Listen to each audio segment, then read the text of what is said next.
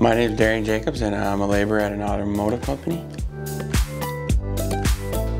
My experiences have been great. I gave them a call, I came in that morning and uh, I was working that afternoon and it works pretty good. Uh, I'm working 40 hours a week and sometimes I get some overtime on Saturdays and it's great, I love it. I would, I would gladly refer a friend to Staffing Connection.